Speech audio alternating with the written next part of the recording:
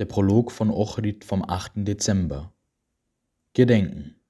Der gottgeweihte Patapios wurde von frommen Eltern in der ägyptischen Stadt Theben im Glauben zur Welt gebracht und in der Furcht Gottes erzogen. Schon in jungen Jahren nahm er die Eitelkeit dieser Welt wahr und verabscheute sie und er zog sich in die ägyptische Wüste zurück. Dort widmete er sich dem asketischen Leben reinigte sein Herz von allen irdischen Begierden und Gedanken um der Liebe Gottes willen. Als seine Tugenden aber den Menschen bekannt wurden, begannen sie ihn aufzusuchen, um Trost in ihren Leiden von ihm zu erlangen. Da er Menschenlob fürchtete, das den Geist der Menschen verdunkelt und sie von Gott trennt, floh Padapios aus der Wüste nach Konstantinopel, denn dieser wunderbare Heilige dachte, er könne sich vor den Menschen leichter in der Stadt als in der Wüste verbergen. Patapios baute sich eine Hütte in der Nähe der Kirche von Blekerné in Konstantinopel.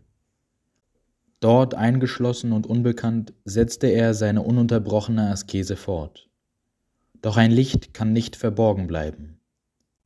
Ein Kind, von Geburt an blind, wurde durch Gottes Vorsehung zum heiligen Patapios geführt. Es bat den Heiligen um sein Gebet zu Gott, dass ihm Sehvermögen gegeben werden möge und es die Schöpfung Gottes schauen könne, um Gott umso mehr zu preisen. Patapios hatte Mitleid mit dem leidenden Kind. Er betete zu Gott und das Kind konnte sehen. Dieses Wunder offenbarte Gottes Auserwählten in der ganzen Stadt, und die Menschen eilten zu ihm, um Heilung, Trost und Unterweisung zu erhalten. Patapios heilte einen angesehenen Mann von der Wassersucht, indem er das Zeichen des Kreuzes über ihm machte und ihn mit Öl salbte. Indem er das Kreuzeszeichen mit seiner Hand in die Luft zeichnete, befreite er einen Jüngling von einem unreinen Geist, der ihn grausam gequält hatte. Der böse Geist kam mit einem lauten Geschrei aus dem Geschöpf Gottes wie Rauch hervor. Er zog das Zeichen des Kreuzes über eine Frau, die in ihrer Brust ein Geschwür hatte, das schon voller Würmer war, und machte sie gesund. Viele andere Wunder vollbrachte der heilige Patapios durch das Gebet im Namen Christi und durch das Zeichen des Kreuzes. Er entschlief in Frieden in sehr hohem Alter im siebten Jahrhundert und bezog seine Wohnstatt im Reich des Himmels. Die heiligen Apostel Sosthenes, Apollos, Tychikos, Epaphrodites, Onesiphoros, Kephas und Caesar. Ihrer aller wird gedacht am 4. Januar zusammen mit den anderen kleineren Aposteln. Dem heiligen Apollos ist ein eigenes Gedenken am 10. September gewidmet, dem heiligen Onisiphoros am 7. September, den heiligen Kephas und Cäsar am 30. März. Der heilige Sosthenes war Bischof in Caesarea und der heilige Tychikos war sein Nachfolger in derselben Stadt. Epaphroditos war Bischof in Adrianien in Pamphylien, Kephas in Iconium und Cäsar in Kolophon, Peloponnes. Sie alle verkündeten das Evangelium Christi mit brennender Liebe, erduldeten Leiden um seines heiligen Namens willen und gingen ein in das Reich der ewigen Freude. Die heiligen Märtyrer in Afrika litten für die Wahrheit des orthodoxen Glaubens aus den Händen der Arianer unter der Herrschaft des Vandalenkönigs Genseric 477 bis 484. Zwei Priester wurden verbrannt und mehr als 60 wurde die Zunge herausgeschnitten. Außerdem wurden 300 Laien enthauptet. Sie alle litten, doch durch ihren Tod besiegten sie die Unwahrheit und bestätigten die Orthodoxie. Sie vermachten uns den Glauben rein und makellos. Der Herr krönte sie mit Kränzen der Herrlichkeit in seinem ewigen Reich. Lobeshymne Der gottgeweihte Patapios wie ein Seemann richtete Patapios seinen Blick in den Sturm. Ob er nicht das Licht des Hafens sähe, jenseits dieser eitlen und ruhmsüchtigen Welt, aufgewühlt von den Winden der Leidenschaften, verdunkelt von der Finsternis der Eitelkeit. Er warf einen Blick auf die Himmel, Patapios wie ein Seemann. Der Geist ist das Auge, um den Himmel zu schauen, und die wunderbare himmlische Welt, ein wahrhaftiger Geist in einem reinen Herzen. Patapios richtete seine Seele auf Gott, tränkte sein Herz mit innigen Tränen. Aufmerksam erwartete er das Licht, das Licht des Himmels den ruhigen Hafen. Patapios wie ein Seemann. Wer sucht, der findet, wer anklopft, dem wird geöffnet. Der barmherzige Gott liebt die Heiligen, die durstigen Sucher des Gottesreichs. Er fing Patapios Blick und offenbarte ihm das himmlische Licht. Patapios sah und weinte. Gottes Licht entzündet durch seine Tränen, bis er in den ruhigen Hafen fuhr. Sein Leben blieb als wundersames Zeichen den Reisenden auf den weiten Meeren der Welt.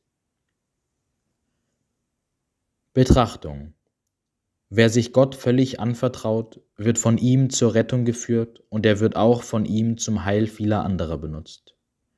Der heilige Nikolaus übergab sich dem Willen Gottes, floh vor der menschlichen Eitelkeit, verließ seine Stadt Patara und kam in die Stadt Mira in Lykien, wo er keinen kannte und bei niemanden bekannt war. Ohne Mittel für seinen Lebensunterhalt, denn obwohl er reich gewesen war, hatte er alles zurückgelassen, ohne Bekannte und ohne irgendeinen Plan ging er unbemerkt durch die Stadt, wartete auf Gott, damit er seine Schritte lenke. Zu der Zeit starb Johannes, der Erzbischof der Stadt, und die Synode konnte sich nicht auf einen Kandidaten einigen. Schließlich entschieden die Mitglieder der Synode zu fasten und zu beten, dass Gott ihnen zeigen möge, wer der würdigste für dieses Amt sei. Gott erhörte die Gebete seiner Diener und enthüllte ihnen, wer der würdigste sei. Als der vorsitzende Bischof im Gebet stand, erschien ihm ein weiß gekleideter Mann und sagte ihm, er solle früh am Morgen hinausgehen und sich vor die Kirche stellen. Dort solle er den ersten Mann erwarten, der dort zum Morgengebet eintreffe. Mach ihn zum Erzbischof. Er heißt Nikolaus, sagte er. Der Bischof teilte den anderen mit, was er gehört und gesehen hatte, und er ging früh am nächsten Morgen zur Kirche und wartete. Der heilige Nikolaus, der gewohnt war, früh zum Gebet zu gehen, kam zur Kirche. Als ihn der Bischof sah, fragte er ihn, Wie heißt du, mein Sohn? Nikolaus schwieg. Der Bischof fragte ihn noch einmal, und diesmal antwortete er, Ich werde Nikolaus genannt und bin der Knecht eurer Heiligkeit. Da nahm ihn der Bischof an der Hand, führte ihn in die Synode und sagte, Empfangt, meine Brüder, euren Hirten, den der Heilige Geist gesalbt hat, und der nicht von einer menschlichen Synode, sondern durch die göttliche Vorsehung erwählt wurde. Zum Nachdenken. Lasst uns nachdenken über das erste Brüderpaar der Menschen auf der Erde. Genesis Kapitel 4. Wie Kain und Abel die ersten Brüder auf Erden waren. Wie Abel rein und gottesfürchtig war, Kain aber neidisch und eigenwillig. Wie der neidische Kain den reinen Abel erschlug. Homilie über die Verfluchung sündiger Werke. Verflucht ist der Ackerboden deinetwegen. Genesis 3, Vers 17. Nachdem Adam und Eva in die Sünde gefallen waren, verkündete Gott nicht sogleich eine Strafe, sondern wartete einige Zeit auf ihre Reue. Dies erkennt man an dem Gespräch, das Gott mit Adam nach seiner Sünde führte. Wo bist du?